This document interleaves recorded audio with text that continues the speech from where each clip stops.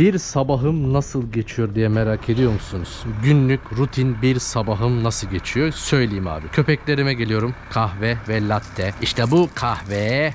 Otur. Şşt, hayır. Bu da latte. Gördüğünüz gibi. Şimdi bunların kakalarını temizleyeceğim, sularını değiştireceğim, mamalarını vereceğim ve dışarı çıkartacağım. Normalde ben köpeklerime tuvalet eğitimini verdim. Fakat bugün uyuyakaldığım için kaka yapmışlar gördüğünüz gibi. Bir de böyle videolarda bana diyorsunuz ya abi işte köpek bakmak kolay mı, zor mu? İşte ben de istiyorum, ben de bakabilirim gibi. Abi hiç kolay değil. Onu söyleyeyim şimdi. Öncelikle onlara komut verip oturtmam gerekiyor. Latte, kahve. Gel otur. Kahve. Otur. Bekle. Hatta yat komut vereyim. Latte. Yat. Yat. Aferin. Kahve. Yat. Yat. Kahve. Yat. Hayır olmadı bir daha. Evet. Kahve. Otur. Kahve. Aferin. Latte yat. Kahve yat. Yat böyle. Tamam. Bekle. Hayır. Bekle. Şimdi komutu verdim onlara. Şu anda bekle komutundalar. Onlar beklerken ben de şimdi bu kakaları temizleyeceğim. En sevmediğim şey bu. Çünkü e, şu taşların arasına giriyor. Ben şimdi sabah uyuyakalmasaydım böyle bir şey olmayacaktı. Onların çünkü bir saati var ve o saatte onları ben çıkartıyorum dışarıya ve kakalarını yaptıkları zaman bir daha buraya asla yapmıyorlar. Ama uyuyakalınca bir de tabii bugün bu sabah benim hem Instagram yayınlarım sizde yaptığım hem de online eğitimim olunca abicim biraz işin rengi bugün çok geçe kaldık. Saat normalde ben bunları 9-10 civarında çıkartıyorum dışarıya. Bugün saat 12.30. Çok geç kaldık. Şimdi bunlar o kadar uzun sürede niye tutamıyorlar biliyor musunuz? Yani en fazla şu an 12 saat falan tutabiliyorlar. Çünkü latte 7 aylık, kahvede 1 yaşında. Yani aralarında tam 6 ay fark var. Kahvede 13 aylık falan oluyor. Tam 6 ay. Yani aslında latte de yavru, kahve de aslında yavru. Çünkü 1 yaş bile köpekler için daha tam olgunluk. Hele latte zaten 7 aylık daha. O yüzden çok tutamıyorlar. Ve bu e, küçük küçük kakaları böyle şey yapanlar da abicim latte. Bizim latte maalesef kötü bir huyu var. Geze geze kakasını yapıyor ve bu benim hiç hoşuma gitmeyen bir şey.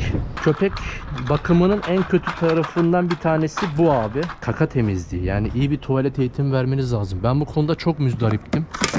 Ondan sonra kardeşim bir hafta burada ben onları iplerle bakın ipler de duruyor. Oraya bağlıyorum, şuraya bağlıyorum. İplerle latte ile kahveyi bağlayarak bir eğitim yaptım kendimce. Çözdükten sonra bir hafta sonra da yani tabii ben bu işte ipi bağlıyorum. Sabah çıkartıyorum, akşam çıkartıyorum. iki posta şeklinde. Öyle öyle bir alıştırdım onları. Şimdi normalde birkaç gündür hiç yapmıyorlardı. Bugün geç kaldığım için maalesef yaptılar.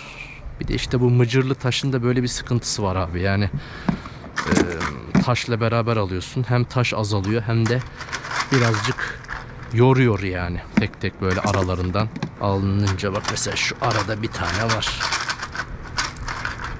Şöyle almaya çalışıyorsun işte onu. Düz zemin olarak böyle işte taş kaplamayı falan düşündüm ama çok pahalı geliyor taş kaplama. Bugün her şeye çok fazla bir zam olduğu için maalesef yani sırf şu alanın taş kaplaması 6000 lira falan tutuyor.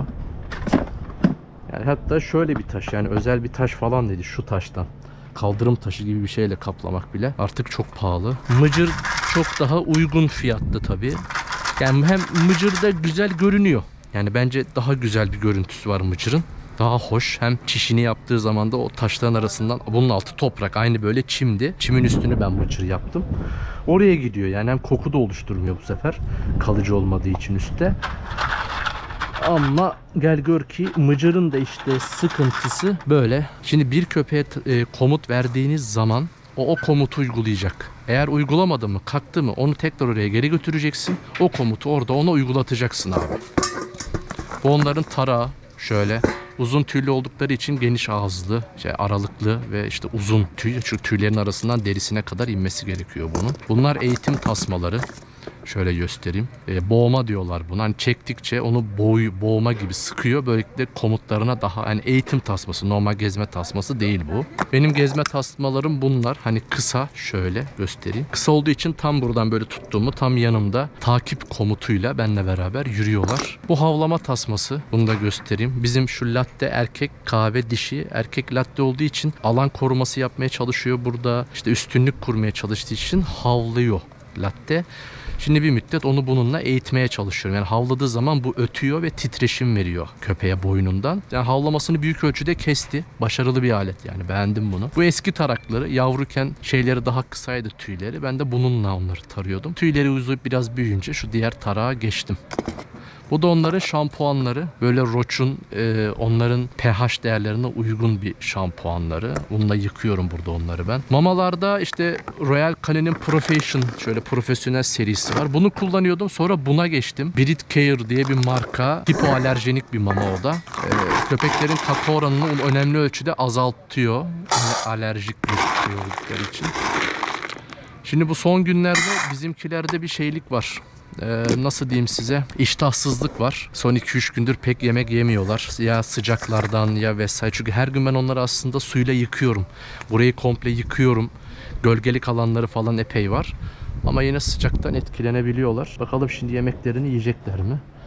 Şimdi şuraya bir tanesini buraya koyayım. Şöyle gölgeye. Öbürünü de şuraya koyayım. Bakın şimdi geldiğince gelecekler. Latte kahve gel. Hadi yemeğini ye.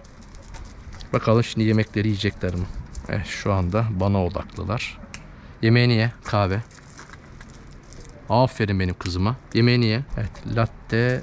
Şimdi benim onları biraz bırakmam gerekiyor şimdi yemek için. Şimdi iştahsızlar yine gördüğünüz gibi. Normalde ben mamaları önlerine koyduğum anda direkt saldırıp mamalarını yerlerdi. Son 2-3 gündür böyle bir şeylikleri var. Ara ara böyle şeyler yaşıyoruz ama kısa sürüyor. Çok uzun sürmüyor bu zamanları. Şimdi ben onları şimdi bir bırakayım onlar orada. Ben de şimdi şu hortumu açıp hem burayı yıkayacağım hem de sularını bir dolduracağım.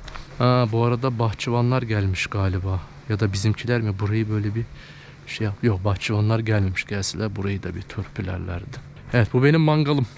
Gördüğünüz gibi bakın burada akşamları mangal yapıyoruz. Şemsiyemiz, işte semaverimiz. Bu da benim bahçem işte. Benim bahçe böyle bu kadar. Şöyle o taraf ekim alanı. Böyle de burada işte vefayla çocuklarla maç yaptığımız, oynadığımız işte köpekleri çıkarıp burada oynadığımız yer burası. Önceki vlog videosunda zaten biliyorsunuz buraları anlatmıştım size. Yemeye başladılar yavaş yavaş. İştahsız yiyorlar ama gördüğünüz gibi.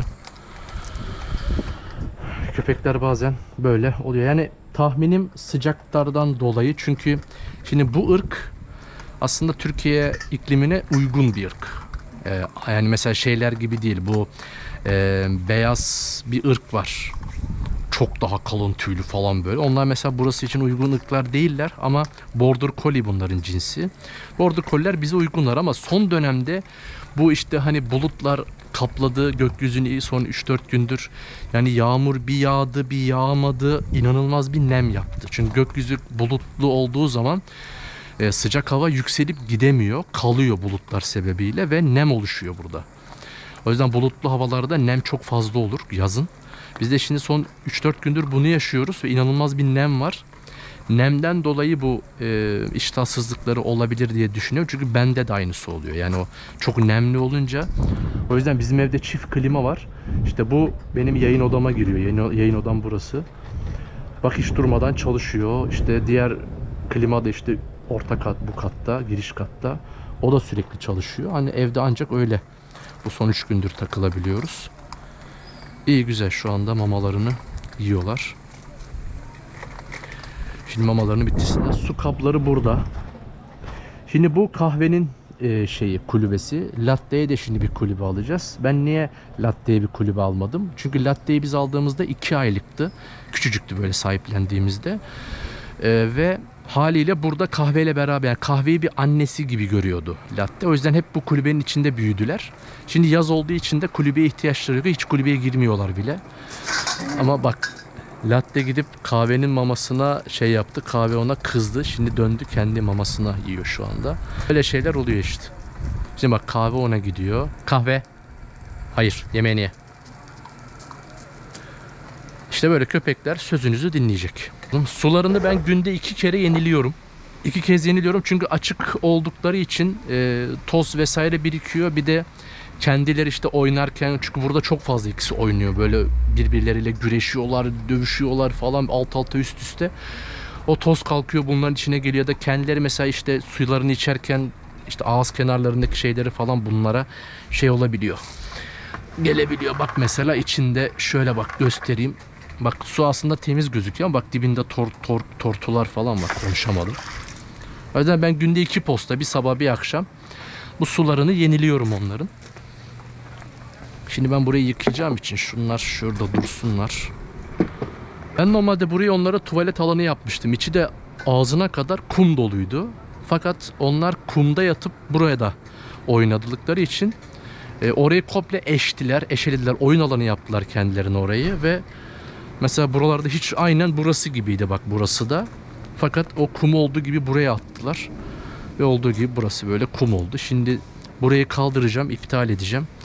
O şekilde burayı da komple e, mıcırlayacağım. Bu kumları çıkartacağım buradan ki daha temiz olsun. Çünkü yağmur yağdığı zaman burada biraz çamur olabiliyorlar. Bu benim pick-up'ın arka kabini. Koyacak yerim yoktu. Buraya koydum mecbur. Bizim pick-up'ın yedek lastiği o da. İşte çocukların zıp zıpı orada duruyor. Pek oynamıyorlar artık zaten. Benim köpeklerle olan rutinim bu şekilde. Yani sabah ve akşam bu kapıdan içeri ya da bu kapıdan geliyorum. Ee, kaka yapmışlarsa onları temizliyorum. Ee, dediğim gibi geç kalırsam kakayı yapıyorlar. Geç kalmamam gerekiyor o yüzden.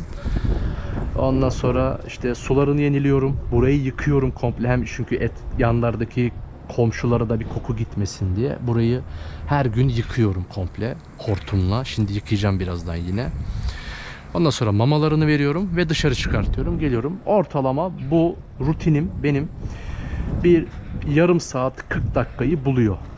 Ee, bir postanın süresi bu şekilde kadar tutuyor yani. Şimdi bak bu mama konusunda şöyle bir şey söyleyeyim size. Mesela köpeğin önüne koydunuz ve köpek ısrarla mamasını yemiyorsa mamayı bırakmıyorsunuz abi taslarda. Yani mamayı alıyorsun ve kaldırıyorsun. Aç kalsın. Önemli değil. O zaten e, yemek istese yiyor zaten. Ben mesela bugün almadım önüne. Çünkü iştahsızlar biliyorum ama yiyeceklerini de biliyorum. Sadece biraz sabrettim orada ben. Hani yönlendirdim onları yemek ye komutuyla. Yemezse direkt kaldırın abi. Hiçbir köpek öyle bir günlük açlıktan herhangi bir et, kötü etkilenmez yani. Şimdi burayı yıkayacağız. Şimdi şu kakalı yerleri özellikle böyle bastıra bastıra yıkıyorum. Onları iyice böyle toprağın içine atıyorum ki herhangi bir koku oluşturmasınlar.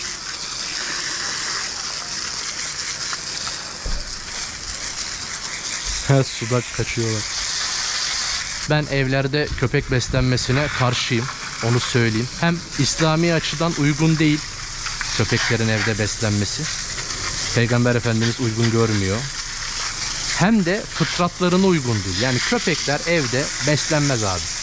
Yani köpekler evde beslenmez çünkü bu onların yaratılış fıtratlarına aykırı. Yani bunlar enerjik hayvanlar. Bunlar dışarıda yaşamaya göre yaratılmış hayvanlar.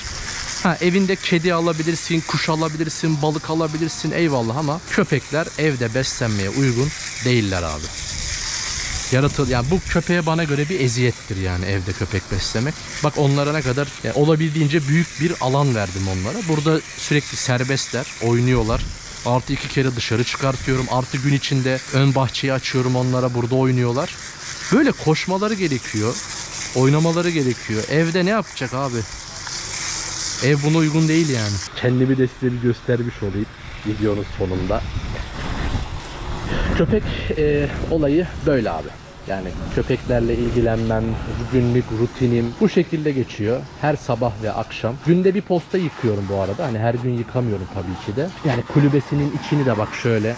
Kulübesinin iç tarafını da yıkıyorum. Dışını, her bir yerini, kenarlarını. Bütün yaşam alanlarını yıkıyorum abi. Köpekler abi temiz hayvanlar değil onu söyleyeyim e, pasaklı hayvanlar. Mesela daha dün latte ile biz dış, işte köpeklerle dışarı çıktığımızda latte bir ineğin kakasını yedi abi. Yani yiyorlar. Mesela latte yavruyken kendi kakasını yiyordu. Yapıyordu, dönüyordu, yiyordu. Şimdi yavru köpeklerde bu alışılmış bir şey yani olağan bir şey. Ama bizim için asla olağan bir şey değil tabii ki de yani. Abi temiz olacağım bu hayatta. Temizlik önemli. pasaklı, dağınık, pis böyle yakışmıyor yani biz Müslümana yakışmaz abi. Temiz olacağız, güzel olacağız. Köpeklerimiz yani bir can sorumluluğu almışsan kendine ona da bakacaksın abicim. En iyi şekilde bakacaksın. Çünkü emanet almışsın. Bunlar Allahu Teala'nın bize emanetleri neticede. Dilleri yok, ağızları yok. Sorunlarını, problemlerini bize söyleyemiyorlar. Hani halleriyle anlatmaya çalışıyorlar ama onu da her zaman anlayamıyorsun. Köpeklerle böyle günlük bir rutinimi çektim sizlere. Likelayıp abone olmayı unutmazsınız. Ben yıkamaya devam ediyorum buraları. Şimdi de dışarı çıkartacağım. Sonraki bölümlerde görüşürüz. Allah'a ısmarladık. Allah'a emanet olun.